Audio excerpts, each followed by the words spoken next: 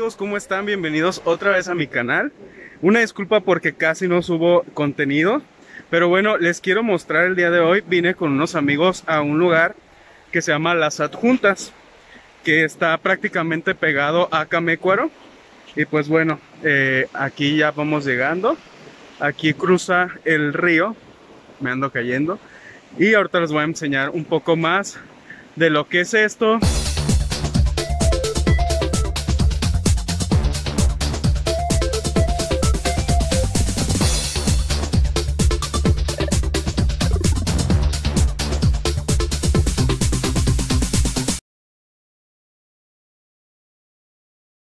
Amigos, aquí ya estamos más cerca de lo que viene siendo el Parque Nacional Camécuaro.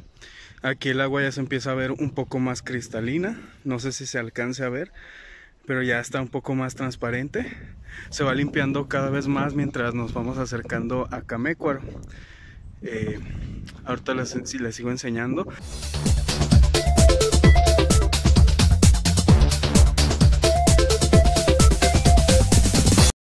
Estos son dos de mis amigos con los que vine. Saluden.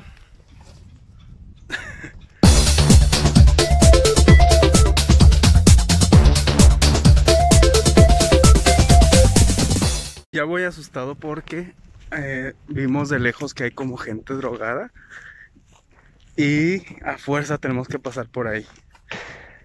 Entonces ya les dije que qué necesidad de andar por aquí, pero pues ya venimos con esta entrada, entonces llevamos palos para cualquier incidente que pueda pasar.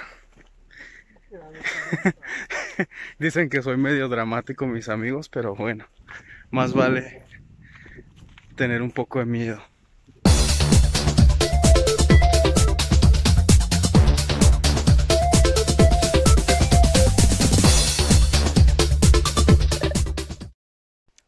Ya estamos llegando a la entrada de Camécuaro y ya nada más tenemos que pasar este pequeño puente colgante. Ahí vamos.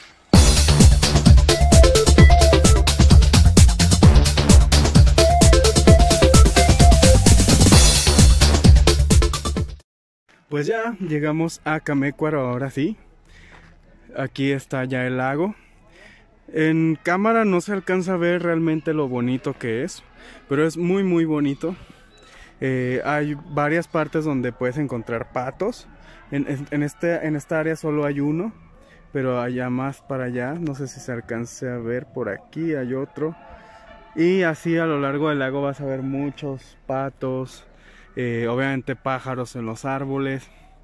Está muy muy bonito, hay lanchitas eh, que que bueno que puedes rentar por un precio módico y puedes pasear a, lo largo y ancho del, lago. Si se ven ahí están las lanchitas que van por ahí. El día de hoy está bastante tranquilo porque es jueves eh, y son como las 4 de la tarde aproximadamente. Está bastante bastante tranquilo pero fines de semana o días festivos esto está llenísimo de gente y es un parque que se considera protegido, se considera como un patrimonio nacional y eh, bueno, tiene leyendas, etcétera. Ahorita se las voy a platicar.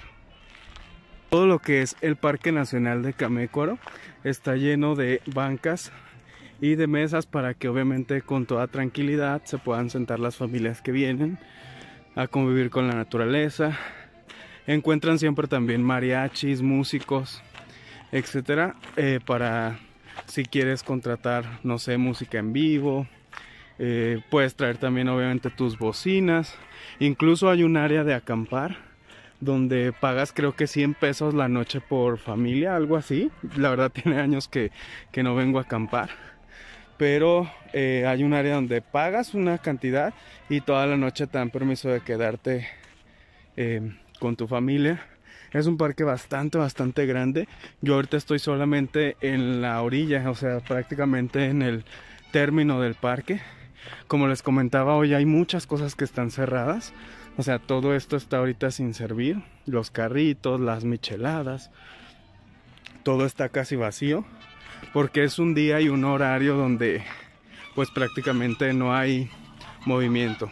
Pero si ustedes vienen un sábado, un domingo o un día festivo, incluso en Día de Muertos, en Día de Muertos se pone súper bonito por aquí, porque arreglan, hacen altares, eh, iluminan, hacen como procesiones, como cosas simbólicas y se pone bastante bonito. Hay música en vivo, cantantes, poetas, todo eso en Día de Muertos, entonces podrían venir y pasársela súper bien aquí. Les contaba hace rato que hay un buen de patos y miren, acabo de encontrar aquí eh, un nido, bueno, unos huevos que pusieron. Ahorita se los voy a enseñar. Aquí están.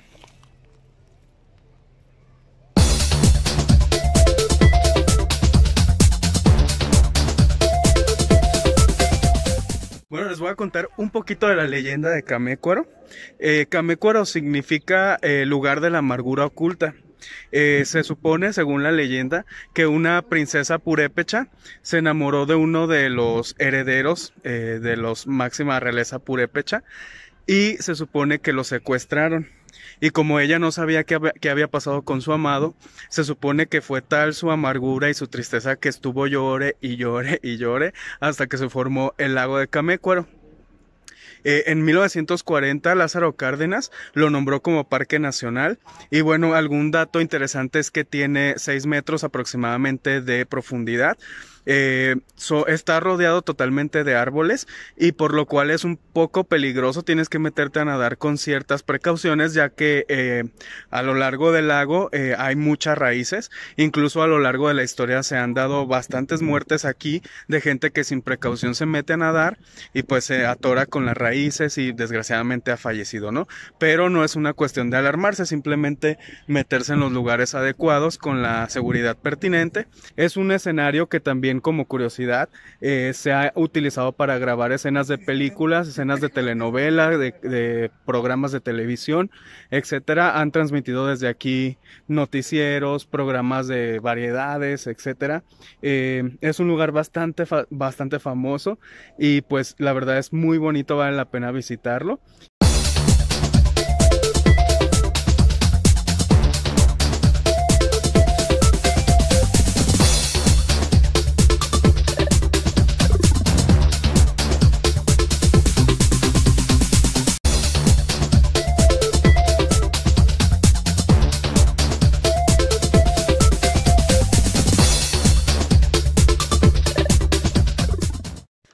Ya nos vamos, vamos de regreso otra vez por el puentecito colgante.